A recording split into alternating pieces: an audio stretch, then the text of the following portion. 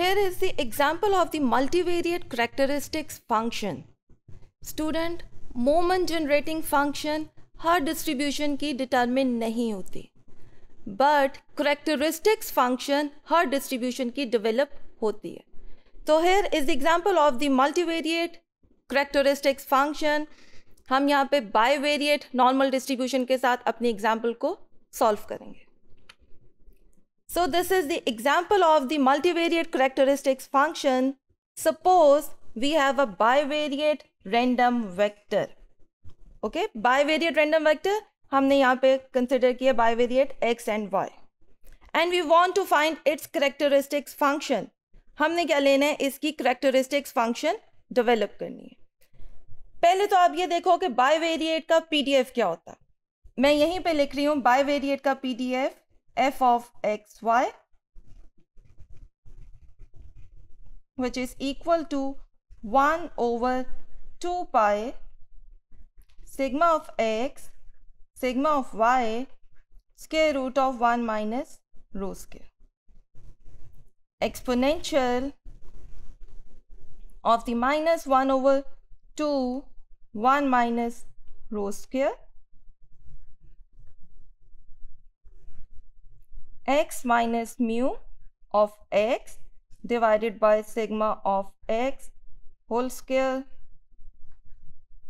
plus y minus mu of y divided by sigma of y whole square minus 2 rho x minus mu of x into y minus mu of y and whole divided by sigma of x sigma of y. This is the bivariate normal distribution with the parameters of mu of x sigma of x square and mu of y sigma of y square and the rho. This is the function of the bivariate random vector. अब यहाँ पे जो हम ले रहे हैं this is the joint this is the joint probability density function of x and y ये आपके पास आ गया जी joint probability density function of x and y ये भी हमारे पास जॉइंट है। बट ये जॉइंट किसका है? यहाँ पे हमने रेंडम वेक्टर या रेंडम वेरिएबल को इंडिपेंडेंट शो किया। जब हम इंडिपेंडेंट शो करते हैं इट मीन्स कि उनके बिटवीन कोरिलेशन नहीं है। कोरिलेशन क्या हो गई? कोरिलेशन हमारे पास ज़ीरो हो गई। यहाँ पे हमने कोरिलेशन ज़ीरो की, क्योंकि वो इंडिपेंडेंट है।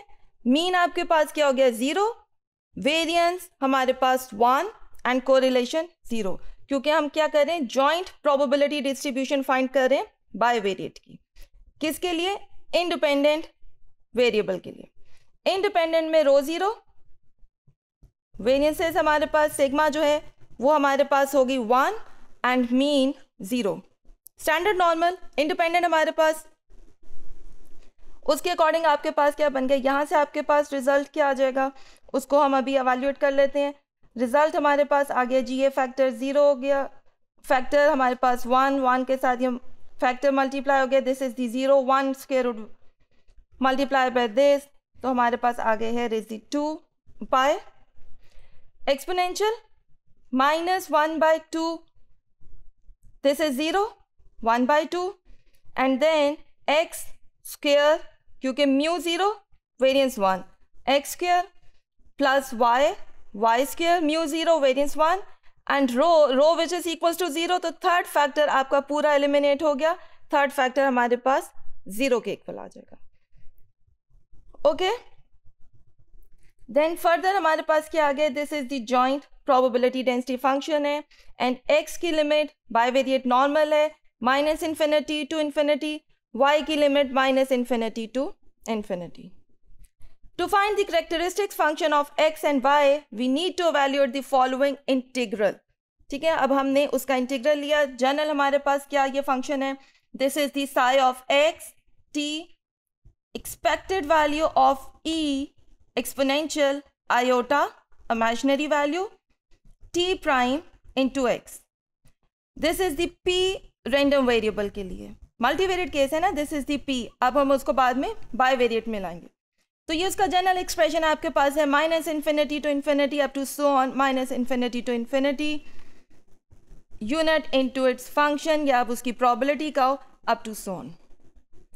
Now here is the t of t1 t2 क्योंकि bivariate है, हमने यहाँ पे लिया t one and t two इसको आप ओपन कर लो for 2 here is the exponential iota t1x plus t t2y and the function of xy dx dy तो ऑफ़ एक्स वाई हमारे पास ये है of probability x y now where psi of t1 t2 is the characteristics function and t1 t2 are the values of the variable in the frequency domain अब हमने further क्या करना है वो आपके पास दिस इज़ द फ़ंक्शन हम उसकी वैल्यू एंटर कर रहे हैं to solve the integral we substitute the given joint probability function into the integral expression ये आपके पास इंटीग्रल है. This is the function, this is the unit into its probability or the function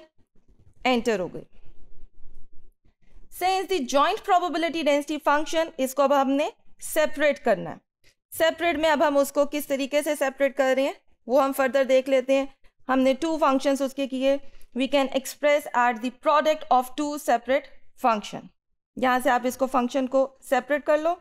One over pi exponential minus x के अलग then हमने minus y square because this minus multiply by plus which is equal to minus y square function हमारे पास आ गया separate कर लिया हमने उसको। Now we can rewrite the characteristic integral हमने फ़ंक्शन की वैल्यू एंटर कर दी है to evaluate the integral by using the properties of the exponential function. Now here use the properties of the exponential function. Double integral iota t1 x1. okay?